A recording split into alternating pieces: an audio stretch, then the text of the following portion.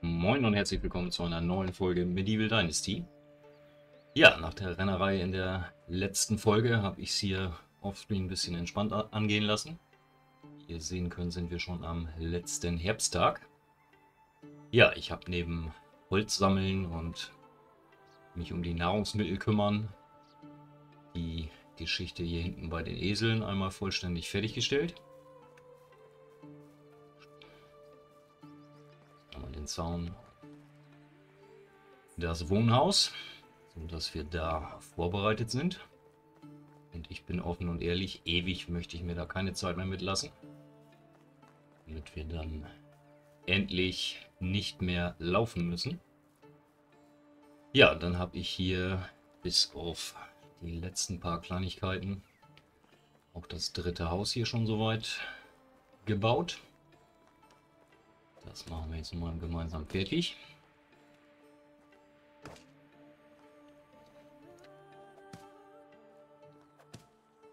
Dann müssen wir uns wohl oder übel eben einmal auf den Weg nach Stovia machen. So, fertig. Da ich, ihr könnt es oben rechts erkennen, eine kleine Quest angenommen habe. Was du denn hin? Äh, wir sollen eine Standfackel bauen. Dafür haben wir aber nicht genug Material. Ups. So. Dann hat mich die Sammelwut, oder hat uns die Sammelwut hier wieder Punkte gebracht. Zwei Punkte einmal in der Gewinnung. Da wir Maultier schon durch haben, gucken wir mal im einmal Schatzjäger. Unerwartete Gegenstände in Ton. Haltbarkeitsverlust Äxte wäre nicht grundverkehrt. Spitzhacken und Schaufeln. Mehr Rohstoffe bei Erzen. Weniger Ausdauerverbrauch bei Gewinnungsaktivitäten. Ich würde sagen, wir gehen auf die Axt. Wa? Da würde ich auch direkt beide Punkte reinschmeißen. So, und dann haben wir hier noch in der Produktion ebenfalls zwei Punkte. Ich glaube, das sind auch die ersten. Bis auf die drei. Ne, hier, Handwerker hatten wir schon mal. So, Handwerker, Baumeister, Kochexperte, Baubesessenheit können wir noch nicht. Kochwissen. 5% mehr Erfahrungsgewinn bei Arbeiten in der Küche. Ist das neu? Dass du dreimal dieses mehr Erfahrung haben? Dann würde ich sagen, nähen werden wir nicht so viel, aber kochen voraussichtlich. Kochexperte ist schnelleres Herstellen. Das ist uninteressant. Wir packen die beiden Punkte hier rein. So, wird da auch soweit mit durch. Dann hier nochmal der kurze Überblick. Es sind noch, äh, ja, runden wir das mal auf auf 1800, dann sind es noch 700 Punkte zum Holzschuppen 2. Ja, von der Kräuterhütte 2, da träumen wir noch länger von. Zum Gänsehaus sind es noch nicht ganz 110. Und zur Schmiede 2, ja, auch noch. Das sind 76 Punkte, das ist auch nicht mehr so weit weg. Gut, sehr schön bis dahin.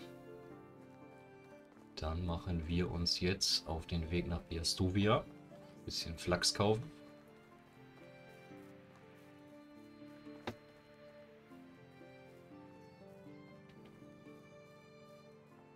Ja, und ich würde sagen, wir, auch wenn es nicht viele Münzen bringt, aber wir nehmen uns noch ein paar Werkzeuge mit, von denen wir sehr viel haben, wie zum Beispiel hier die Holzhämmer. Davon, dann nehmen wir zehn Schaufeln nochmal mit. Wie gesagt, bringt alles nicht die Welt, aber Steinwerkzeuge.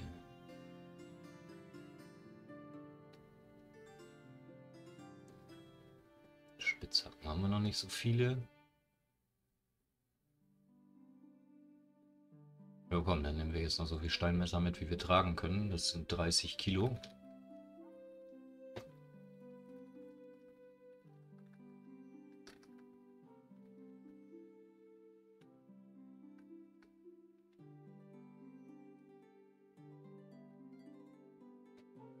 Für minimal überladen. Kann ich noch irgendwas...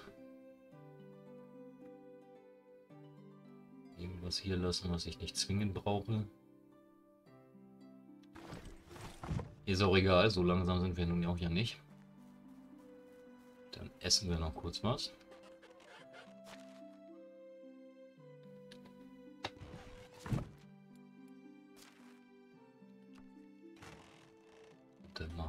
Machen wir uns wohl geschnährt. Gestärkt wollte ich jetzt sagen, deswegen machen wir uns auf den Weg. Bisschen Flachs kaufen. Damit wir diese Quest hier noch erfüllt bekommen. Ich sollte hier vielleicht nochmal einen zweiten Weg bauen. Ich hier auch nicht immer durch die Pampa.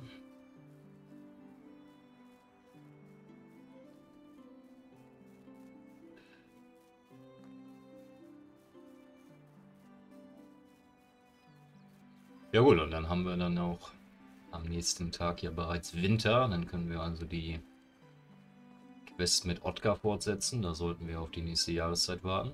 Ich hoffe, dass er seinen Vater nicht gelüncht hat. Also das hörte sich ja nicht so an.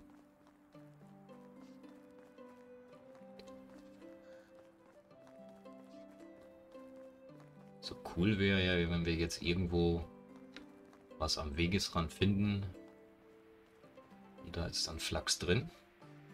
Aber das wird wohl ein Traum bleiben.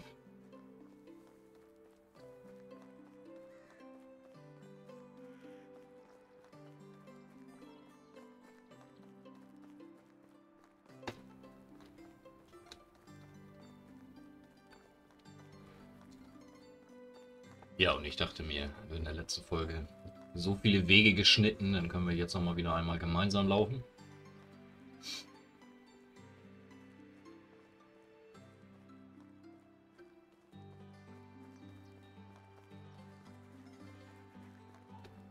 Natürlich in der nächsten Jahreszeit. Ich werde jetzt nicht nochmal nur deswegen nach Osteuer laufen. Aber wir wollen ja mal gucken, da wo es möglich ist, äh, unseren Dorfbewohnern, die noch keinen Partner haben, einen zu besorgen. Ganz vorne steht dann natürlich die Bäuerin. Ne, die Bäuerin hatten wir doch schon. Die... Ja, sag schon, die Dame, die jetzt unsere Felder bestellt. Da haben wir auf jeden Fall noch Arbeitsplatz. Gegebenenfalls packt man schon mal einen in die Scheune, wobei ich das noch nicht sehe. Das kriege ich aktuell noch selber gebastelt. So viel ist da ja noch nicht los. So, hallo Piastovia. So, und ich denke ja mal, dass Maroslav oder wie er auch noch hieß. Ja, wo ist Maroslav? Ist er? Balim? Du bist ja aus der Schenke, alles klar.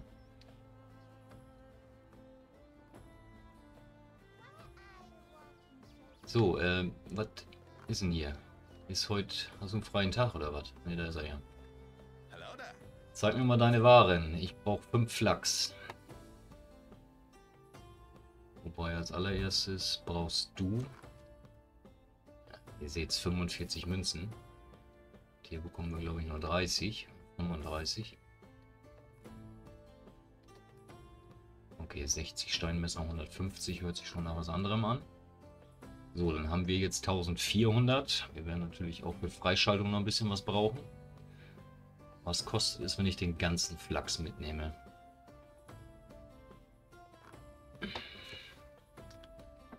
Zweihundertvierzig. Ja, so genau machen wir das jetzt. War noch irgendwas ganz Wichtiges, was ich brauche?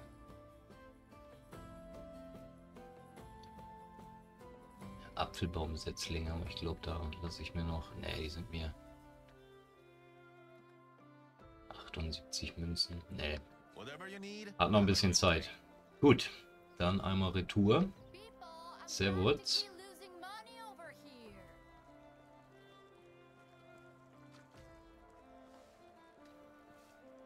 Was ich jetzt gerade noch überlege, können wir uns die... Gut, dann hätte ich den Flachs jetzt nicht kaufen brauchen, aber ist auch ja egal. Ähm,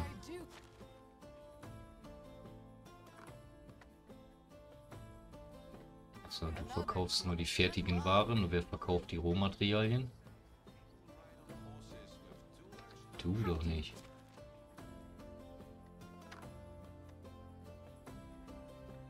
Wo ist L? Da ist L, aber eher auch nicht. Hab ich das bei dir gerade übersehen? Ja.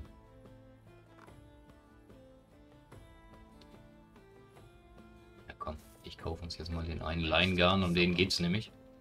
Leingewebe hatten wir gefunden, aber wir hatten kein Leingarn.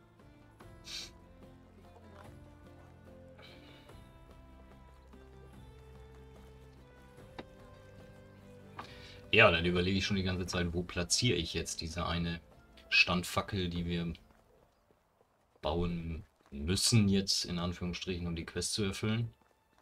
Ich denke mal am Brunnen erstmal.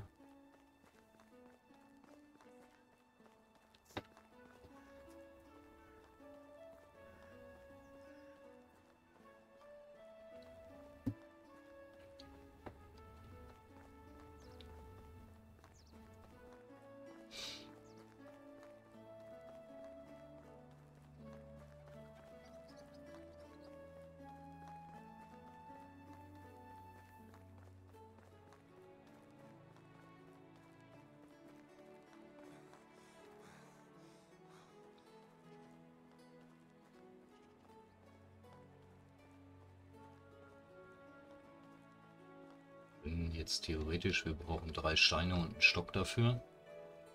Sie unterwegs schon mal einsammeln.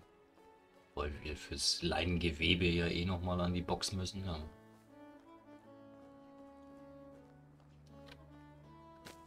Ich würde pauschal mal behaupten, dass die Sammelei hier nicht von Nachteil ist.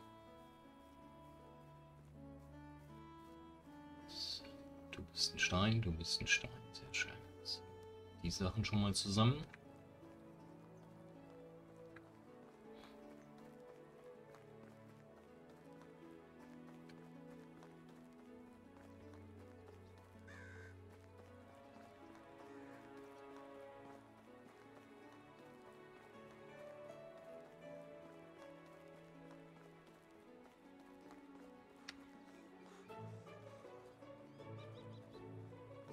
Ist hier was nachgespawnt? Wahrscheinlich nicht, ja?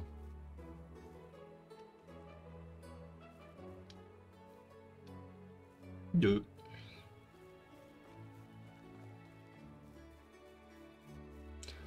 Ja, ihr seht's, ich war hier weiter fleißig äh, am Holzhacken. Das geht jetzt auch schon da hinten bei den Elchen da hinten bis an den Weg ran. Hilft ja nichts, wir brauchen Material.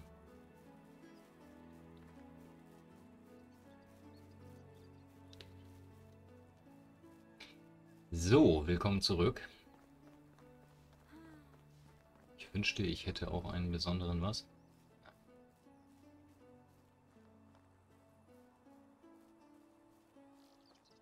So, dann darfst du mir einmal unseren einen Flachs, dann nehmen wir die Flachshalme hier auch mal mit.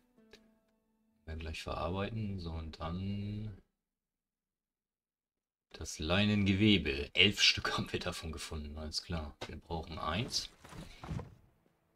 So. Ja, hier am Brunnen oder eher nicht so am Brunnen? Gut, als allererstes müssen wir sowieso das Schemata dafür kaufen. Hier 100 Münzen, aber bitte. Dann bauen wir hier halt hier.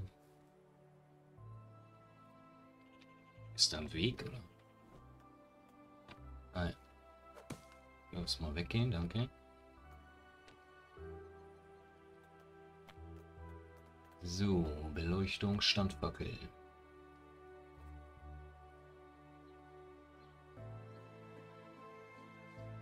Zack. So, sprich mit Isaslav. Wo ist Isaslav?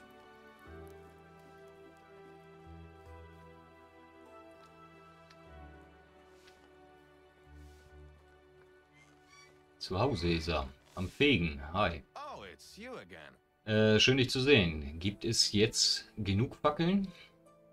Oh ja, es ist viel besser, wobei die Schatten, die in ihrem flackernden Licht tanzen, einem schon eine Gänsehaut bereiten können. Äh, Schatten können auch ganz niedlich sein, Schattenhäschen zum Beispiel, Blödsinn. Tut mir leid, aber mehr kann ich nicht tun. Äh, der Sonne des, das Untergehen zu verbieten übersteigt meine Fähigkeiten. Ja, unser Dorf sieht jetzt viel besser aus. Drei. Sehr schön, dann haben wir die Quest erledigt, bevor sie verfällt. Dann würde ich sagen, gehen wir noch kurz in die Näherei. Obwohl erstmal in die Scheune. Wie spät ist denn das? 18.40 Uhr, also da waren wir nicht. Waren wir nicht zu spät.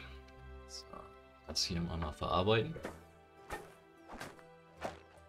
Ja, dann haben wir jetzt, was die Felder angeht, auch alles zugewiesen außer Mohn.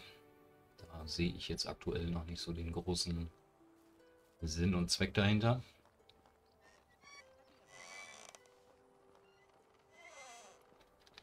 So, dann müssen wir hier allerdings jetzt nochmal 50 Münzen ausgeben. Aber wir gerne. So, stellen wir die ersten sieben Leingarn selbst her.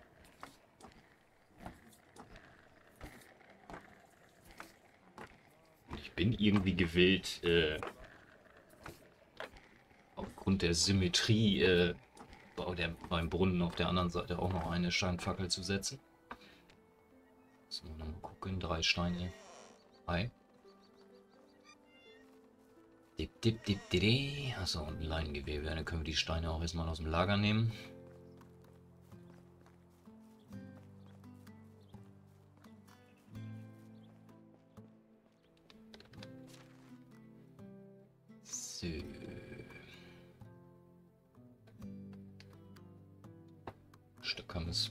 Haben. Ja, das passt.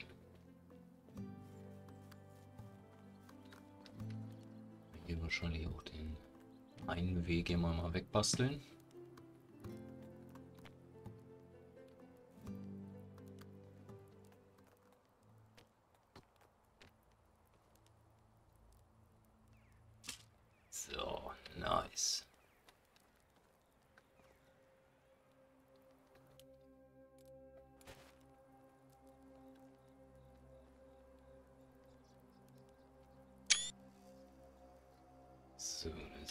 Brunnen schon mal beleuchtet.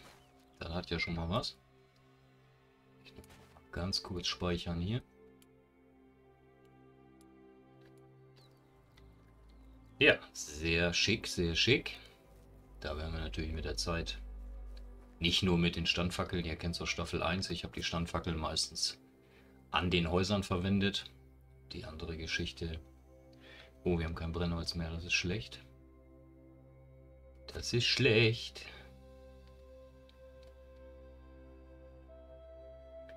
So, die Samen können da rein.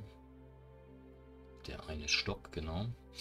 So, wie viele Holzstämme haben wir? 62. Also das scheint ja dann jetzt doch gut zu laufen. Würde ich mal sagen, nehmen wir uns mal 20 mit. Das heißt mit, das können wir ja hier, können wir hier erledigen.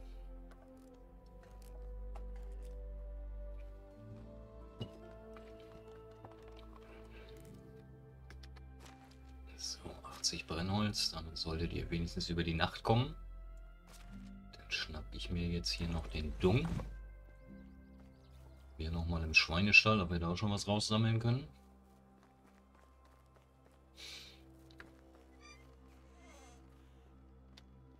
Hundertsechzig Prozent. Naja gut, komm.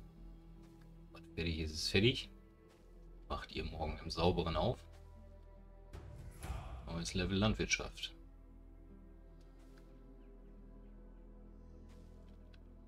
Ja gut, gucken wir uns das noch einmal an. Landwirtschaftsfertigkeitspunkte nehmen wir natürlich immer gerne. Gewissenhafter Landwirt. Ja, würde ich sagen. Nee. Einer hier auf jeden Fall jetzt in die Dorfpfeife, weil wir uns ja zeitnah den Esel kaufen wollen. Dann würde ich sagen, geschickter Landwirt. Zusätzliches Getreide ernten. Wir gehen nochmal hier auf Haltbarkeitsverlust der Werkzeuge, wobei ich nicht glaube, dass wir das... Das betrifft ja... Fertigkeiten betrifft ja, glaube ich, nur uns. Na gut, dann würde ich sagen, während ich hier noch ein bisschen Dünger bastle, kommen wir für diese Folge zum Ende. Sehen uns in der nächsten Folge dann im Winter wieder. Ich denke auch direkt in Skauki. Ja, wie immer, recht herzlichen Dank fürs Zuschauen und würde mich freuen, wenn ihr morgen wieder dabei seid. Bis dahin.